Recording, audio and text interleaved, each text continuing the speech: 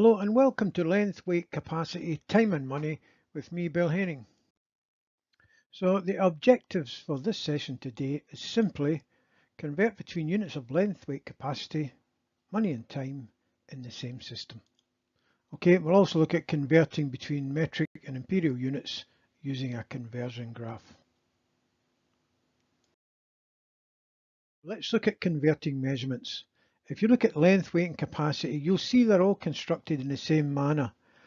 The smallest value is in milligrams. The next bigger value is in centigrams and centimeters and stuff like that. Uh, then you've got the denominated length, weight, capacity, so it's meters, grams and liters. And then finally the largest is the kilo, so kilometers, kilograms and kiloliters. So keep that in your head going forward and this will help you with the conversion of length, weight and capacity. Now in this example, let's convert 150,000 centimetres to kilometres.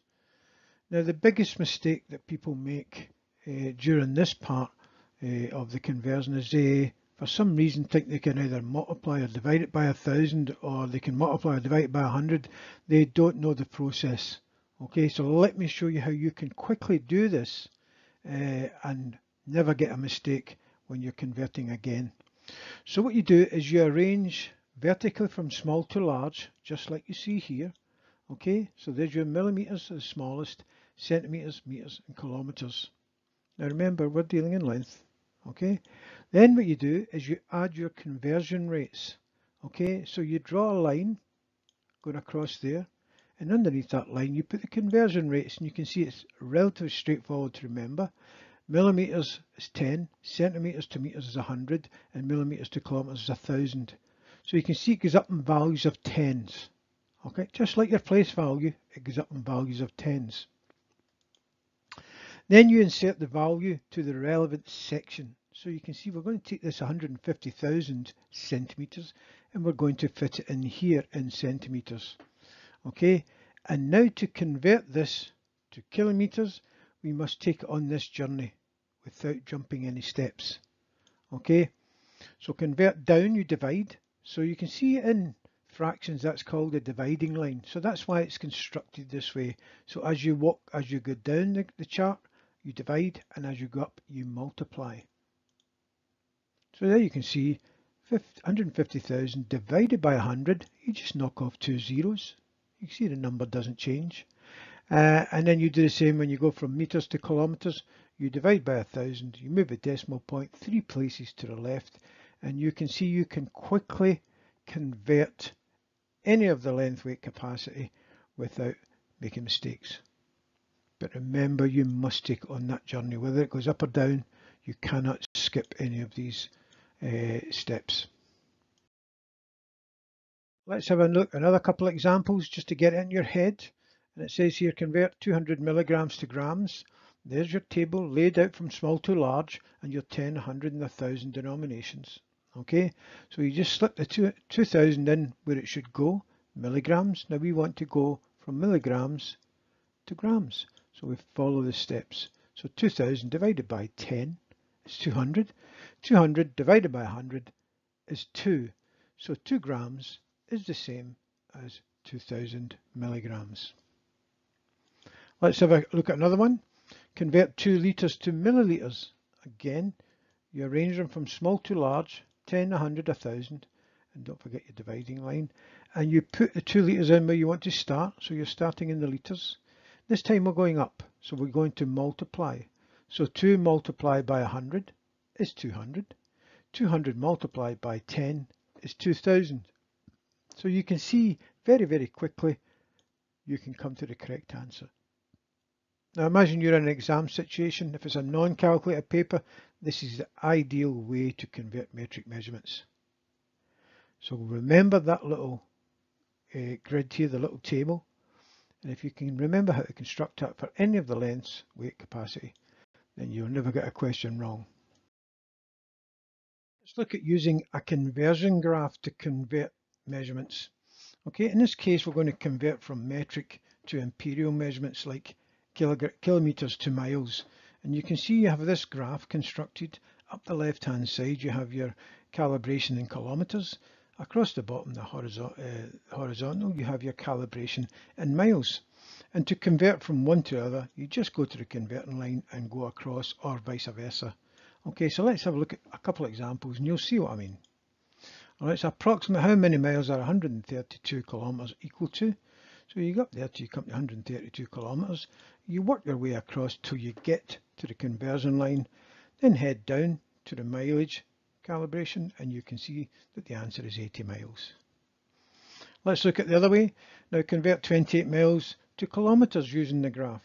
So again, you start where you think 28 is, okay, and you go across and you will see that it's roughly 48 kilometres. So that's how you use a conversion graph. They're relatively simple once you practice them. Have a go. Let's see how you got on. Now remember, this can be relatively easy if you're in a non-calculator paper. Just write it down. So James runs 400 miles every day. Work out how far James runs in one week. Give your answer in kilometres. Okay, so pause the video, have a go at the question and see if you can answer it. So how did you do? Well, let me show you. Right, first thing you have to do is you have to multiply 400 meters by 7, which gives you 2,800 meters. We now need to convert that to kilometers. So let's draw our little table. So we've got your millimeters, you've got your centimeters, you've got your meters, and you've got your kilometers. And then you put in your denominations 10, 100, and 1000. And you can see how quickly this can be done. It can be done in seconds and it stops you from worrying about converting or misconverting. So you put in your 2800, you know you're going to go down the way, okay? Uh, so you're going from, so you can see you divide, you're going down, now you divide, divide by a thousand, and you can see the answer is 2.8 kilometers. And if you got 2.8, well done. Let's have a go at this question. Kelly has two dogs, Pixie and Fifi. Pixie weighs 8.5 kilograms. Fifi is 720 grams lighter than Pixie. Work out how much Fifi weighs. State your units. So pause the video again and have a go and see if you can get it right. Well, draw your little table. So milligrams, centigrams, grams and kilograms. Now you can see there you've got grams and you've got kilograms. Typical maths questions give you two different denominations. Well, you can't work with two different denominations, so you have to convert one to the other to make them both the same. Right, so you put your units in, you're converting units in, 10, 100, 1000, okay? And then you convert the 720 to kilograms, okay? So you divide that by 1000. So you can now see that you put that 720 grams is 0.72. All right, then all you do after that is you take the 8.5, deduct the 7 or the 0.72, and you can see that Fifi's weight is 7.7 kilograms. Okay, and if you got 7.78 kilograms, well done. Let's try this question. This is from the City and Guilds mock paper. A woman is training for triathlon race, which includes a 1.5 kilometre swim. She needs her swim time to be 33 minutes. She trains in a swimming pool, which is 50 metres long. She needs to know the average time she must swim each length. And what is this time? Uh, and you've got to show your workings, okay? So the first thing you'll notice, again, typical with maths exam, it gives you in different denominations, kilometres, and meters. You cannot work in different denominations. You must convert that. So using your little uh, table, you can convert 1.5 multiplied by 1000 means you've got 1500 meters. Now you need that, need to divide that number by the number of lengths. So you divide that by 50 and that means that within that 33 minutes, the swimmer must do 30 laps. So how long is it going to take per lap? Well, you can see that 33 divided by 30 means that they have 1.1 minute for each lap. Now, at this point, uh, most people put in one minute and one second, but that's not the case because time does not work in units of 10. Now remember, this is a digital answer from your uh, from your calculator. Okay, so the answer is not one minute and one second. What you have to do is convert this to time, which is part of today's session. Okay, so all you do is you simply multiply 1.1 by 60 and you can see there 1.1 times 60 gives you 66 seconds.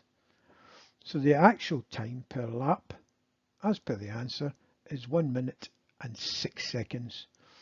So remember, time doesn't work in values of 10, it works in values of 60. So if your answer is you must multiply by 60. Now, converting metric and imperial values.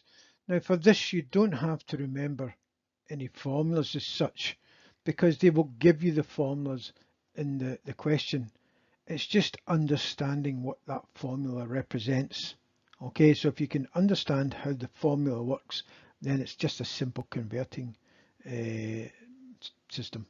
So Elaine is buying fruit and vegetables from the local market. She normally buys them in kilograms, but in a local market they are in, they are sold in pounds. Okay, so you can see there one kilogram equals 2.2 pounds. Well, if you think about it logically, two kilograms must be 4.4 pounds. Three kilograms must be 6.6 6, because it's a ratio. You go up in proportion. That's called direct proportion. Okay, so you may remember that from your ratio session. Now she wants to buy about two kilograms of apple. About how many pounds is that? And you've just heard me say it's proportional. So you know what one is. One kilogram is 2.2. So therefore two kilograms must be 4.4. Right. Now she's buying a sack with 11 pounds of potato. How many kilograms does the sack weigh? And now you know you've got 11 pounds and you know it's 2.2 per kilogram. So you simply take 11 and divide it by 2.2 and that will convert it to 5 kilograms. Okay, so it's all about understanding this ratio here. Okay, and if you can understand that, then you can just calculate just about anything. Let's have a look at some other examples. Now Selma's travelling to Europe by car. Her car shows her speeds in miles per hour. Now one mile equals 1.6 kilometre. Alright, so when she drives at 75 miles per hour, how many kilometres is that? Well, you know 1 equals 1.67. So 75 must be 75 times 1.67. And you can see the answer is 120 kilometres per hour. Now the speed limit in the motorway she's driving through is 80 kilometres per hour. What is that in miles? Again, as long as you know how to work this ratio here, okay, you can answer that question relatively easily. So you just take the 80 kilometres, divide it by 1.6 because that's the equivalent of a mile, and you can see the answer is 50 miles per hour. So it's about this ratio. If you can understand that, you will crack it. Time comes up often in a maths exam, okay, and you know how they work in measurements of 60, stuff like that. So a 12 hour clock versus a 12 hour clock. When you're doing your exam and you have to give an answer, always give your answer on either a 24 hour clock or the British Standard Time, so AM and PM. Never mix the two up because you will lose points. Okay, so let's have a look. Right, so the digital clock, digital clock uses a 24 hour system and the 12 hour, 12 hour clock goes from 12 a.m. to 11.59 and then from 12 p.m. which is noon till 11.59 p.m. at night. Okay, for example, 8 a.m. is 8 o'clock in the morning and 8 p.m. is 8 o'clock in the evening. Now a 24 hour clock goes from 0, 0, 0 to 23.59 and then back to 0 again at midnight. Okay, so for example, 0630 is half past 6 in the morning and 1830 is half past 6 in the evening. Now let's working out times. This is an area where people get wrong as well. Try and keep it simple. All right. So the best way to work out times is to split it into chunks. Right. For example, Jack sets off for work at 7:30 a.m. and arrives at 9:05. And it says, how long does the journey take him? Well, break it down. So 7.30 to 8 o'clock is 30 minutes. 8 o'clock to 9 o'clock is 1 hour. 9 o'clock to 5 past 9 is 5 minutes. Then you just simply add them up and you can see the total time taken was 1 hour and 35 minutes. So break it down into chunks and make it easier for yourself and you'll save yourself valuable points in your exam. Let's look at timetables. This is another area where people can slip up and lose valuable points. The timetables have rows and columns. Rows are horizontal and columns are vertical. You need to know how to read several different types of timetables. So let's have a look. Okay. Now step one, find the stop you want Let's say you want to arrive at Liverpool Street from this before 9.30. Okay, so you're starting from Liverpool Street and the best way to work backwards. Okay, uh, going along that row to find the last one before a certain time. So you can see that if you get the 9.33 you will be late. So it's got to be before 9.30 so you're going to get the 9.03. You work your way backwards so you find the time that the bus train gets to the stop you want to get on at. So you go back there and you work there, you can see that's your dis. Okay, so that means you need to catch the 7.28 in the morning train or bus, whatever it is you're taking. Okay, and that's how you use timetables. Have a go. Here is part of a timetable for a bus. A bus leaves Southall at 10.38. At what time should the bus arrive at Newton? So stop the, uh, the video have a think and see if you can answer it. So how did you do? Okay, you can see there, 10.38, you go down to it matches Newton and you can see that it takes 11, you need to arrive at 11.09. Now how long will the journey take? Well again you break it down into chunks. 10.30 to 11 is 22 minutes. 11 to 11.09 is 9 minutes. Add time together and you can see the journey will take 31 minutes from Southall to Newton. This one, remember pause the video and see if you can get the answer. Here is part of a train timetable. Freddie wants to travel from Randallstown to Ballycastle. He arrives at Randallstown at 13.03 to catch the train next to Ballycastle. How long does this train journey take? How did you do? Well, 13, 1400 is 45 minutes. 1400 to 1409 is 9 minutes. Add them both together and you can see the journey took 54 minutes. And if you got 54 minutes, good stuff. This timetable, okay. Now Jennifer lives in Antrim and her friend lives in Ballycastle. Now Jennifer has a five minute walk from Antrim to the train station Okay, her friend is a 30 minute walk from Ballycastle to the train station and Jennifer wants to arrive at her friend's house before 3 p.m. Okay, so plan Jennifer's journey to her friend's house. Pause the video and see how you got on. Okay, remember where you can work backwards. Okay, now you can see there you want to arrive and you get back to 1300 as your starting point okay and so you have to work out you leave at 12.55 to arrive five minutes uh, to get your train okay? Catch the train at 1300 okay?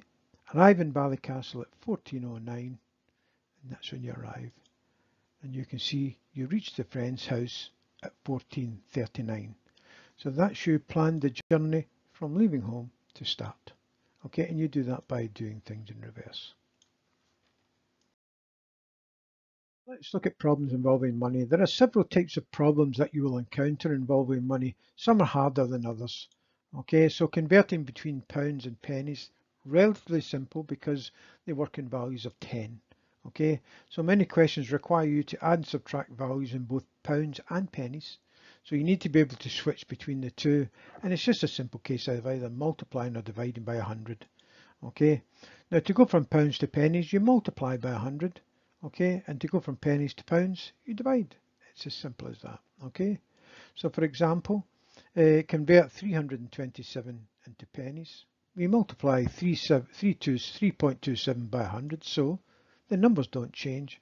All you're doing is manipulating a decimal point, moving it two places to the right, and that gives you 327 pennies. Okay, because remember a lot of the questions will give you, uh, and it doesn't matter what the denomination is, they normally give you them in different denominations, and you cannot work in different denominations, so you have to convert one to the other. And it doesn't matter which way you round you convert them to, as long as they match. Okay, now convert 47 pence into pounds.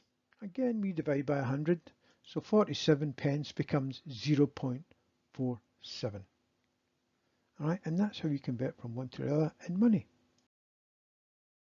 Let's look at rates of pay. Okay, the rate of a pay is the cost of something per unit of time. For example, a phone call may cost 25 per minute, or someone may get paid £11.70 an hour. Okay, often questions require you to combine rates of pay with a fixed fee or combine two different rates. And when if you've done the formula session in BODMAS, you'll see good examples in there of this happening. Now, Sarah earns £9.80 per hour and works 30 hours a week. She earns £32.50 in tips.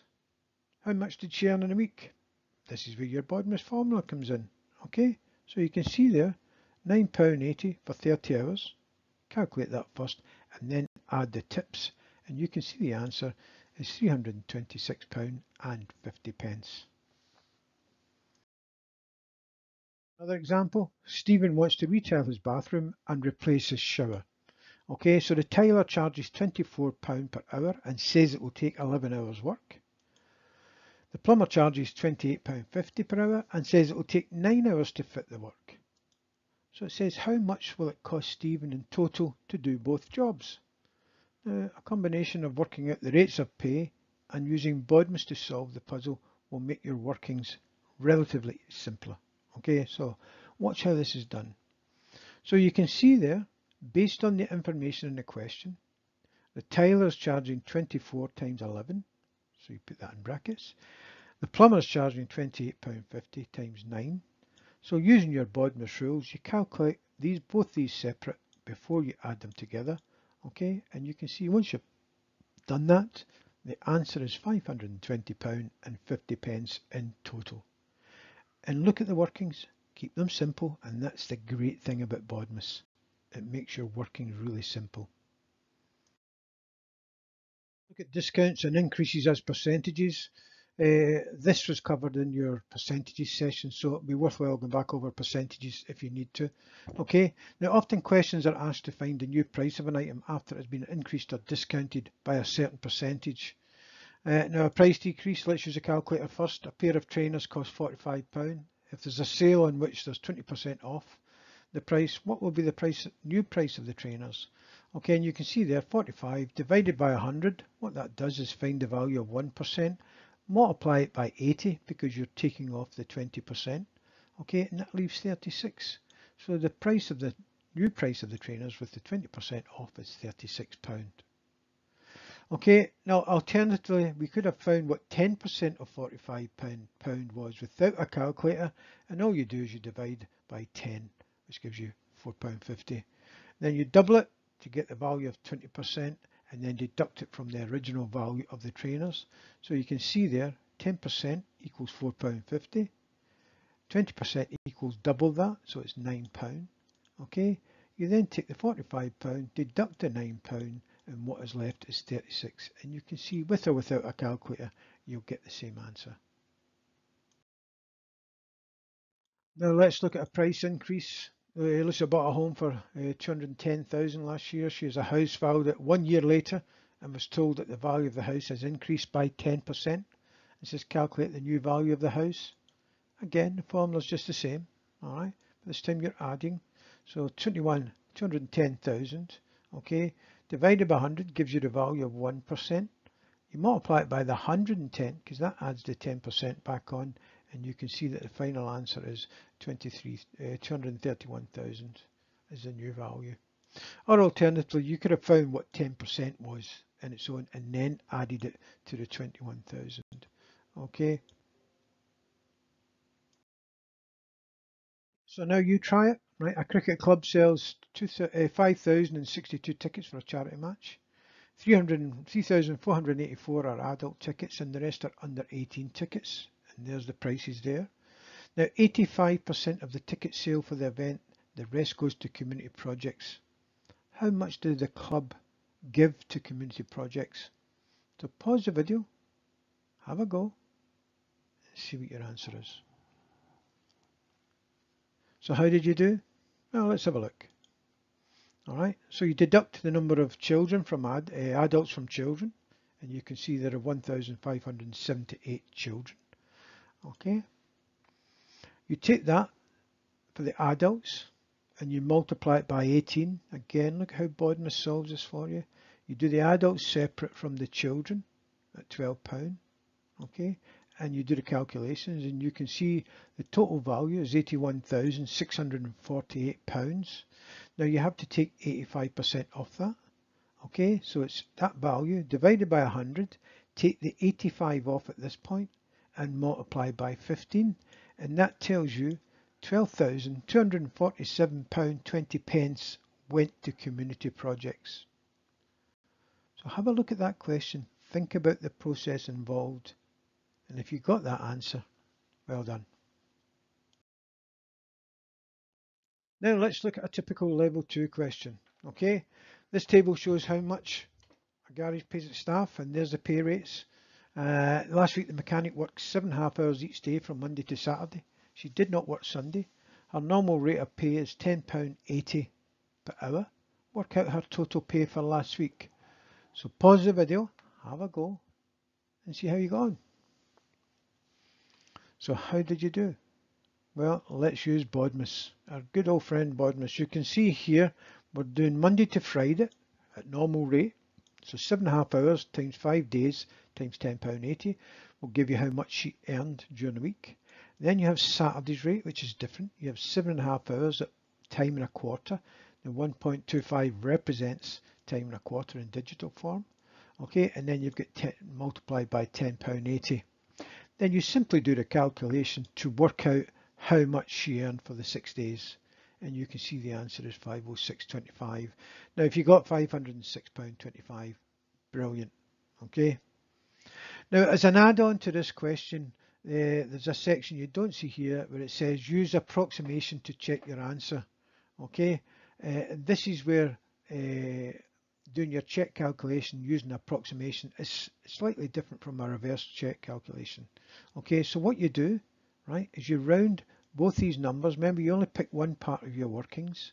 So you pick this final part here, you change the 405 to 410, you change 101 to 100, and if you add them both together, you get the answer of 510. All right, now it's important you learn how to do approximate check calculations because it's where you can lose valuable points in your exam. Now you can see the answers don't match exactly, but it's close enough. And that's what we call in maths an educated guess. Okay, so think about as soon as you see the word approximate, then round your figures off and add them together. And as long as you get a rough answer that's roughly correct, then you'll get the points. Length, weight, capacity, time and money. I hope that helped. Thank you.